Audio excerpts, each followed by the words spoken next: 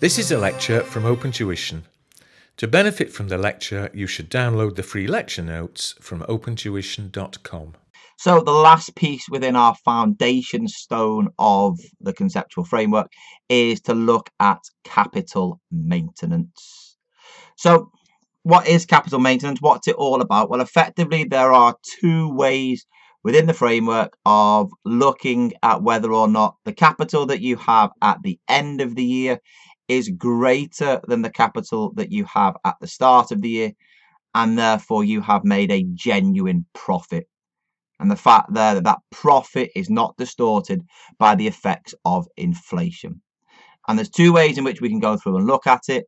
That is the first one that we'll look at being your financial capital maintenance, or sometimes also referred to as your money capital maintenance. And then also your operating capital maintenance, or sometimes referred to as your physical capital maintenance. Again, examinability, I don't think you're going to get a huge amount of marks on it.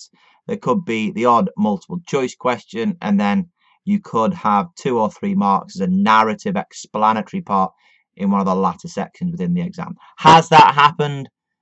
As far as I can recall, there hasn't.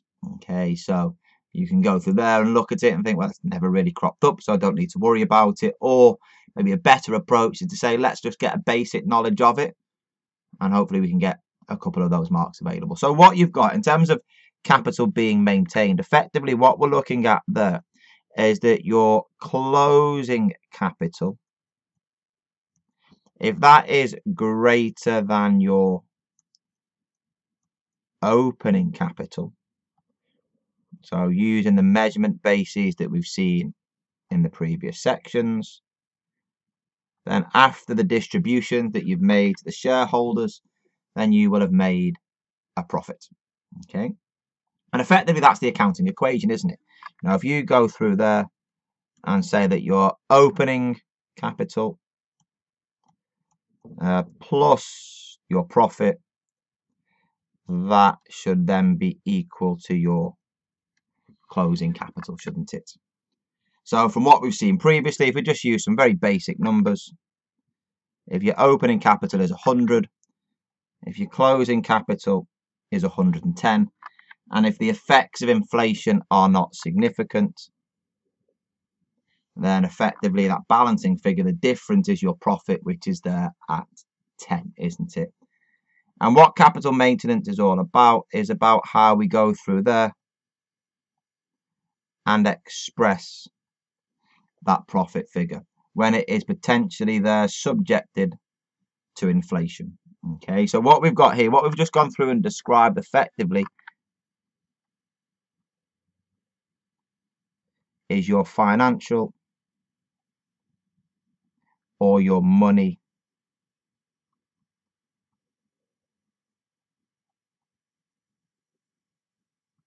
capital maintenance. Yeah, you've maintained the capital through the generation of pure profit. There is no impact there of inflation on your financial statement, on the numbers that you have reported. But what happens effectively maybe if there is some form of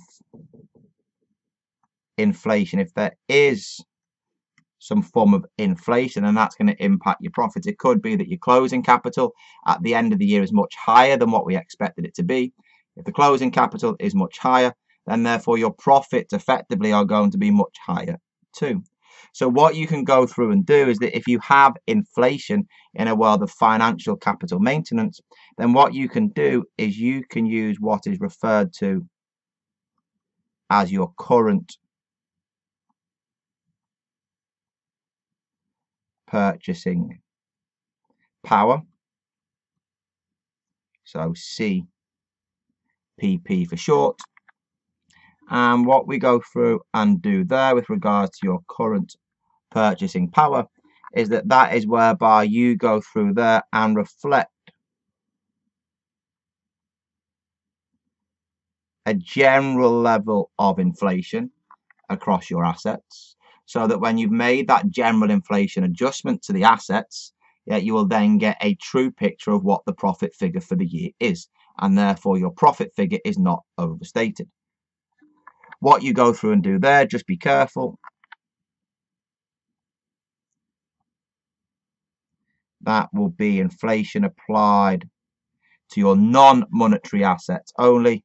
So to you and I, at this level, that would be your PPE and your inventory because non-monetary assets are not readily exchangeable for cash. So their value does change based upon inflation.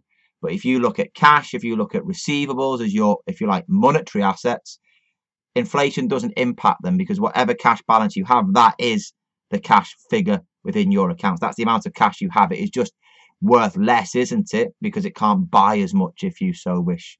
Okay, inflation has impacted the power of money, hasn't it? Similar with your receivables, that's the amount that you're going to receive regardless of inflation. So here with your current purchasing power, if there is inflation present, and effectively this financial money capital maintenance is what all businesses adopt, but they just ignore the effects of inflation because the effects of inflation are immaterial.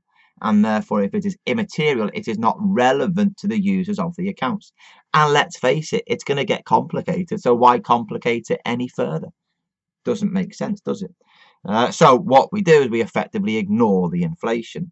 If you were to incorporate it, you would use current purchasing power, general inflation applied to the non-monetary assets. Okay.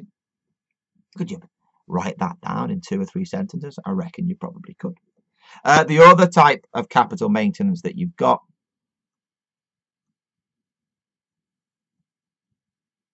is your physical, or if you like, your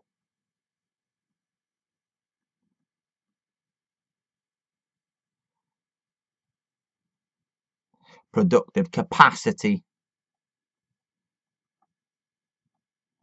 capital maintenance.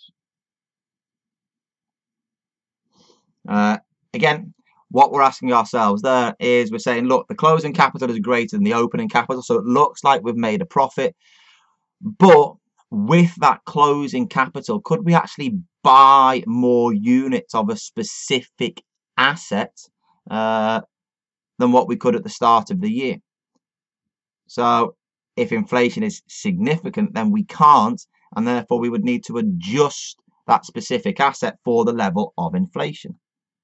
So whereby inflation was taken account of in your financial capital maintenance using general inflation, here when we're incorporating inflation to see whether or not our capital has been maintained, we're going to use what's referred to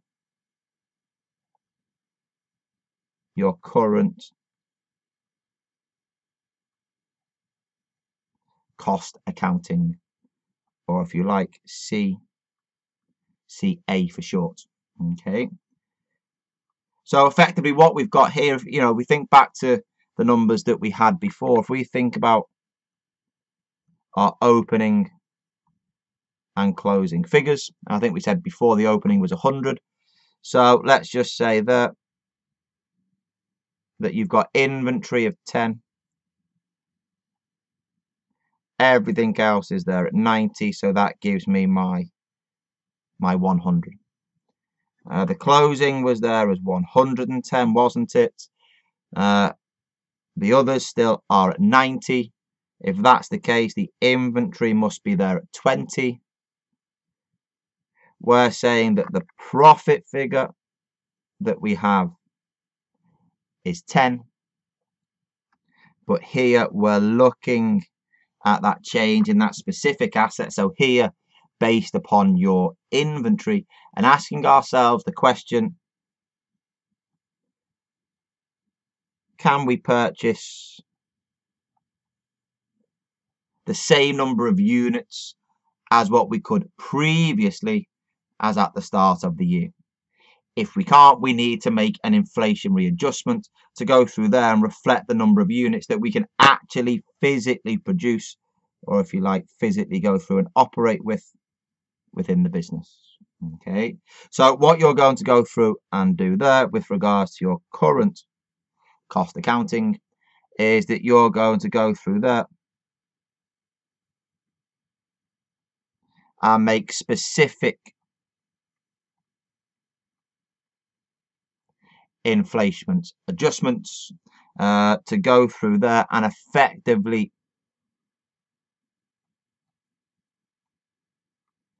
show the value to the business. So we have these assets. What are they worth? How much could we effectively purchase now? Okay. Uh, and what you find if you go through and look at some of the detail with some of the study text, workbooks, whatever you prefer to call them, uh, that's referred to as the deprival value. Now, I'm not prepared to go into any detail about how you measure the deprival value for specific assets such as inventory and such as property, plant and equipment. If you wish, you're more than welcome to go through and look at that. But I just think that's pushing the world of capital maintenance that little bit too far.